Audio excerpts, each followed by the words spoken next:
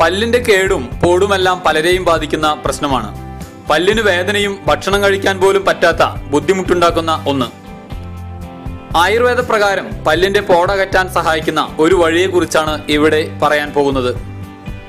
ഇതിനാവശ്യമായത് ഒരു ടീസ്പൂൺ ഗ്രാമ്പു ഓയിൽ ഒരു ടീസ്പൂൺ ഉപ്പ് ഒരു ടീസ്പൂൺ വെളുത്തുള്ളി ജ്യൂസ് എന്നിവയാണ് ഇതിന് വേണ്ടത്. ഇവയെല്ലാം ചേർത്ത് യോജിപ്പിക്കുക. ഇത് പേസ്റ്റ് പോലെയാക്കണം. ഇത് പോടുള്ളിടത്ത് വെക്കാം.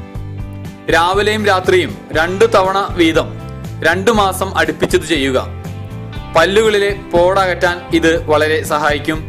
പല്ലിന്റെ ആരോഗ്യം വർദ്ധിപ്പിക്കുകയും ചെയ്യും. ഇവയെല്ലാം ചേരുമ്പോൾ ആന്റി ബാക്ടീരിയ ഗുണങ്ങൾ ഏറെ ഉണ്ടാകും. ഇതാണ് പല്ലിലെ പോടുകളെ തടയുന്നത്. പല്ലിന്റെ മാത്രമല്ല മോണയുടെ ആരോഗ്യത്തിനും ഇത് വളരെ നല്ലതാണ്. വായനാറ്റം ഉണ്ടാക്കുന്ന ബാക്ടീരിയകളെ ഇത് കൊന്നൊടുക്കുകയും ചെയ്യുന്നു.